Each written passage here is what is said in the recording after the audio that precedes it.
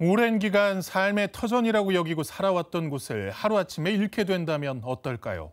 이번에 소개해드릴 사연이 이런 내용인데요. 어떤 사연인지 최영 기자와 이야기 나눠보겠습니다. 자, 최 기자 사연 소개해 주시죠. 네, 제가 이번에 소개해 드릴 사례는 한센인 마을에 대한 내용입니다. 남양주시 한센인 정착촌 땅이 지방국세청에 압류된 사연인데요. 자세한 사연을 전하기에 앞서 한센인 또 한센병에 대해 짚고 넘어가 보겠습니다. 우리나라에서 한센병은 이미 사라진 질병으로 보고 있습니다. 세계 보건기구는 우리나라를 완치국가로 분류하고 있는데요. 지난 10년간은 매년 한 자릿수의 환자만 보고가 되고 있고 그마저도 최근에는 해마다 한두 명 내외로 거의 발견되지 않고 있는 상황입니다. 어, 그런데 과거에는 질병에 대해 제대로 알려지지 않고 또 전염이 된다는 막연한 불안감 등으로 이 한센병 환자들을 사회로부터 격리했던 건데요. 심지어 한센인은 질병이 완치되거나 또 질병이 없는 한센인의 자녀들일지라도 이 차별을 받으면서 고립된 삶을 살아야 했습니다.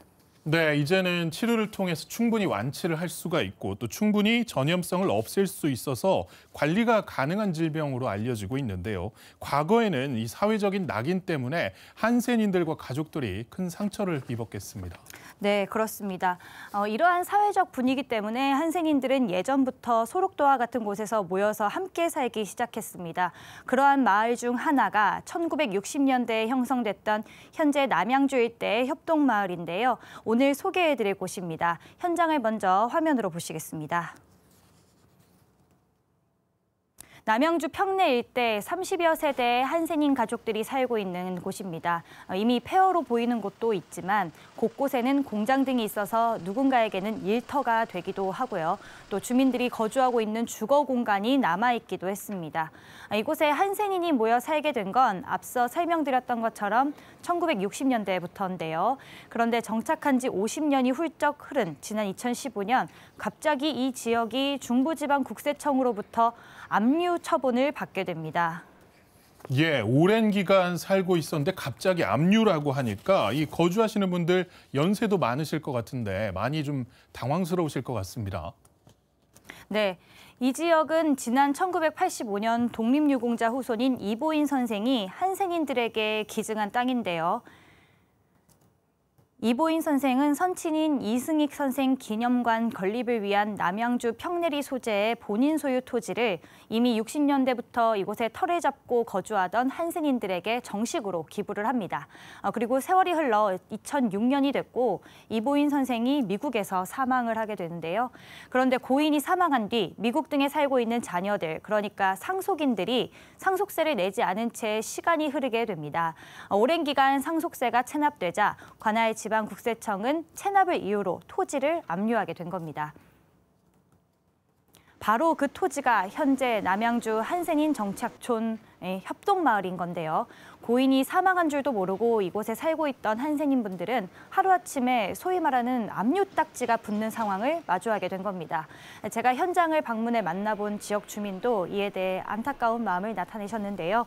주민분 사정상 인터뷰를 진행하긴 어려웠지만 압류 사실을 알게 된 당시에 막막하셨다는 이야기를 전했습니다.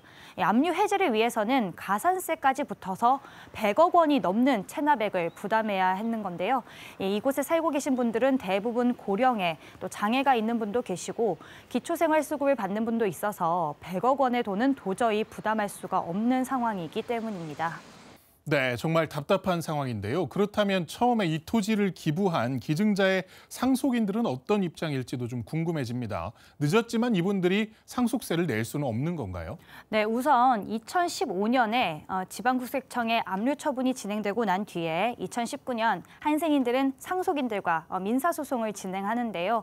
이때 법원은 한센인들에게 토지 소유권을 인정하고 이를 통해 토지에 대한 소유권 이전 등기가 완료가 됩니다.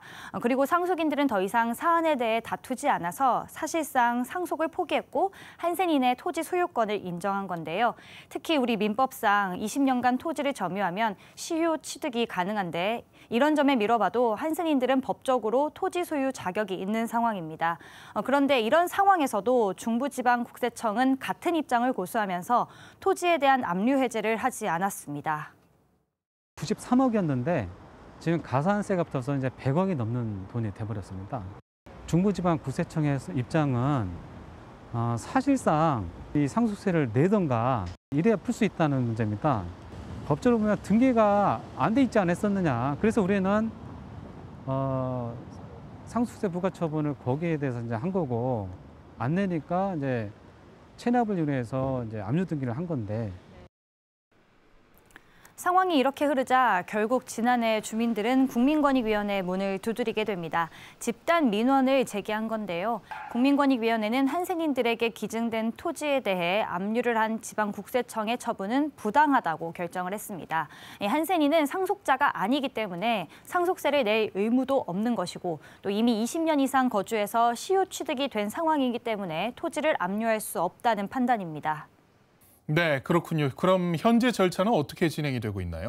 네, 권익위는 소위원회를 열어서요. 위원들의 만장일치로 이번 사안에 대해서 의견을 표명했는데요. 이 기부자 사망 이후 토지를 상속 재산에 포함하고 상속인들의 상속세 체납의 이유로 토지를 압류하는 것은 실질 과세 원칙에 위배될 소지가 있다면서 지방 국세청장에게 압류를 해제하도록 의견 표명을 한 겁니다. 마을 사람들 재산에 압류를 하고 상속세를 안 내면 이거 못 풀어준다고 하는 거는 상속인들도 아닌데 너무 가혹한 거 아니냐. 비록 등기는 안 돼 있어서 상속이 됐고 또 그 부분에 대해서 상속과세 예, 상속 재산에 이제 포함시켜서 이제 상속 재산 상속세를 부과를 했는데 그리고 또 체납을 안 했다고 해서 어, 사람들 토지 이제 압류를 했는데 그 부분은 너무 좀 실질과세 원칙에 비춰 보더라도 너무 어, 가혹하고 이제 부당하다.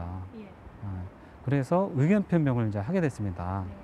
국민 권익위원회만이 할 수 있는 어떤 제도입니다. 의견 표명이라는 제도는. 저희가 우리 동네 개선문을 통해서 국민권익위원회에 접수된 민원 해결 사례를 자주 소개해드렸는데요. 아, 보통 조정을 통해 해결된 사례를 많이 전해드렸는데 이번 사안의 경우에 권익위가 해당 지방국세청에 의견 표명을 한 겁니다. 이 조정과 의견 표명 어떻게 다른 건지 잠시 설명을 드리자면 이 조정은 민원 주체를 둘러싼 이해 당사자가 두 개 이상의 기관일 때이 기관 간의 조정을 통해서 민법상 화해의 역할을 하는 것이고요. 이 민원 주체의 이해 당사자가 하나의 기관일 때 바로 의견 표명을 하는 겁니다. 네, 아, 그렇군요.